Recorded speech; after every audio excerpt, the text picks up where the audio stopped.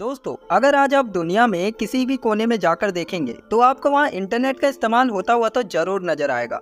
क्योंकि आज इंटरनेट लोगों की ज़रूरत ही नहीं, बल्कि उनकी आदत बन चुका है। और ये सब देखकर, ये तो तय है कि अगर किसी घर में चार लोग रहते हैं तो उनमें से तीन लोग इंटरनेट का इस्तेमाल तो ज़रूर करते होंगे। बल्कि अब तो कोरोना काल के बाद से बच्चे भी घर में रहकर इंटरनेट का इस्तेमाल करने लगे हैं। क्योंकि हम सभी जानते हैं कि आज के समय में इंटरनेट का इस्तेमाल करना बहुत ही नॉर्मल और आसान हो गया है। लेकिन इन सब चीज़ों को जानने के बाद अब मेरा आप सभी से एक सवाल है कि क्या कभी आपने ये सोचा है कि इंटरनेट का बर्थडे कब आता है। या, अगर मैं सरल भाषा में कहूँ तो क्या आप जानते हैं कि इंटरनेट का जन्म कैसे हुआ और कब हुआ? तो चलिए, आज इस टॉपिक पर चर्चा करते हुए अपनी वीडियो को शुरू करते हैं और इंटरनेट के जन्म से लेकर अब तक की कहानी को जानते हैं। दोस्तों, ये बात है चौवन साल पहले की, यानी करीब 1969 की, जब अमेरिका रक्षा विभाग के एडवांस रिसर्च प्रोजेक्ट एजेंसी ने चार यूनिवर्सिटीज के कंप्यूटर को नेटवर्किंग के ज़रिए जोड़कर इंटरनेट के जन्म को संभव बनाया था और इस प्रोजेक्ट को उन्होंने नाम दिया था आर्पनेट यानी advance research project agency network. लेकिन उस समय इंटरनेट का इस्तेमाल खाली अमेरिकी मिलिट्री कर सकती थी। और अगर इस प्रोजेक्ट के उद्देश्य की बात करें तो इस, प्रोजेक्ट का उद्देश्य अमेरिका में रिसर्च और एजुकेशन को बढ़ावा देना था। फिर साल आया 1974 जब आर्पनेट के निर्माण के बाद उसे कमर्शियल तौर पर पेश किया गया। मैं आपको यहाँ बता दूँ कि आर्पनेट का इस्तेमाल पहली बार टेलनेट कंपनी ने किया था। इस कंपनी के इस्तेमाल के बाद ही इसे इंटरनेट नाम दिया गया था। जब आर्पनेट की शुरुआत इंटरनेट के नाम से हुई तब इंटरनेट के द्वारा सूचना के आदान प्रदान के लिए टीसीपी, यानी ट्रांसमिशन कंट्रोल प्रोटोकॉल का उपयोग किया जाता था। इसके कुछ समय बाद ही computer scientist Tim Berners Lee के द्वारा इंटरनेट का पहला सफल कम्युनिकेशन किया गया था। और computer scientist Tim Berners Lee ने ही 1991 में वर्ल्ड वाइड वेब, यानी डब्ल्यू का निर्माण किया था, जिसके द्वारा इंटरनेट का इस्तेमाल और भी आसान हो गया। टीम बैनर्स ली ने मार्च 1989 में इंफॉर्मेशन मैनेजमेंट सिस्टम का एक प्रपोजल तैयार किया, जिससे पहली बार इंटरनेट पर एच यानी hypertext transfer protocol client का निर्माण हुआ और इंटरनेट के इस्तेमाल में और मदद मिली। और यहाँ एक बात ध्यान देने वाली ये है की टीम बैनर्स ली वही व्यक्ति थे जिन्होंने computer program H T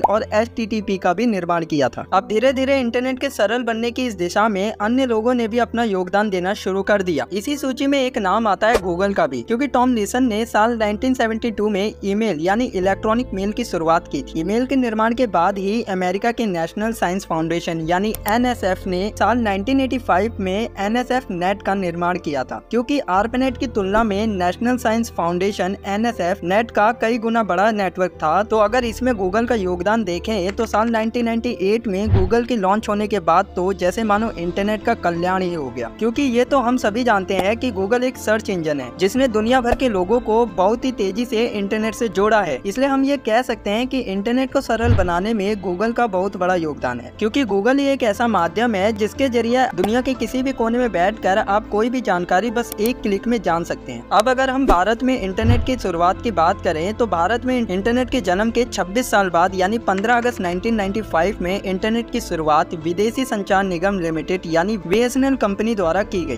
BSNL company ने अपनी टेलीफोन लाइन के द्वारा ही पूरी दुनिया भर के कंप्यूटर को भारत के कंप्यूटर से जोड़ा और इस तरह भारत में इंटरनेट की शुरुआत हुई। इसके अलावा अन्य प्राइवेट सेक्टर की कंपनियों ने भी भारत में इंटरनेट की शुरुआत कर दी और अपनी इंटरनेट की सेवाएँ भारत को प्रदान करना शुरू किया जिन्हें हम आज अनेकों कंपनियों के रूप में देख सकते हैं जो हमें इंटरनेट की सेवाएँ प्रदान कर रही हैं। और आज की बात करें तो भारत में करीब 45 करोड़ यूज़र इंटरनेट का इस्तेमाल कर रहे हैं। सो so, दोस्तों ये थी हमारी आज की video I hope you like this video so if you like this video so don't forget to like share and subscribe जय हिंद।